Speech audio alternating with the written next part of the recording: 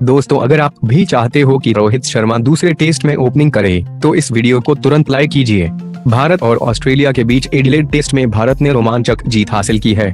इस जीत के साथ ही भारत ने टेस्ट सीरीज़ में बढ़त बना ली है।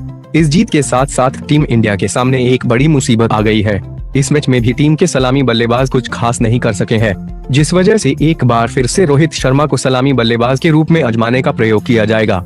दोस्तों आपको क्या लगता है रोहित शर्मा को कौन से नंबर पर बैटिंग करनी चाहिए? नीचे कमेंट सेक्शन में अपना जवाब दीजिए। Rohit Sharma one day cricket में वर्तमान में दुनिया के सबसे ज़्यादा औसत वाले सलामी बल्लेबाज हैं। वर्ल्ड क्रिकेट में कम से कम 50 पारियाँ खेलने वाले ओपनर्स में रोहित शर्मा की औसत सबसे ज़्यादा है। वह चौवन दशमलव तीन नौ की औसत के साथ इस सूची में पहले नंबर पर है। दूसरे नंबर पर दक्षिण अफ्रीका के सलामी बल्लेबाज हाशिम अमला हैं, जिनकी औसत पचास दशमलव एक शून्य की है। रोहित का बला सफ़ेद गेंद क्रिकेट में पिछले कुछ समय से काफ़ी अच्छा चल रहा है और ऑस्ट्रेलिया की पिच रोहित को बहुत रास आती है। रोहित वनडे क्रिकेट में ऑस्ट्रेलिया में 50 की औसत से रन बनाते हैं। वहीं टेस्ट मैच में उनकी औसत अट्ठाईस दशमलव आठ तीन की है, लेकिन इसमें भी उन्होंने चार इनिंग में छठे नंबर पर बल्लेबाजी की है। छठे नंबर पर बल्लेबाजी करने का मतलब है कि ज़्यादातर समय उन्हें टेलेंडर के साथ बल्लेबाजी करनी पड़ी है। ऐसे में रोहित की परफॉर्मेंस उनके इस रिकॉर्ड पर जज नहीं की जा सकती।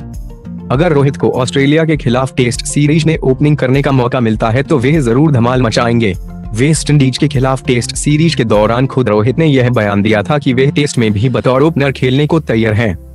अगर शुरुआती एक दो मैचों में भारतीय सलामी बल्लेबाज कुछ कमाल नहीं दिखा पाते तो भारत को बिना देर किए रोहित शर्मा को बतौर ओपनर एक मौका दे दिया जाना चाहिए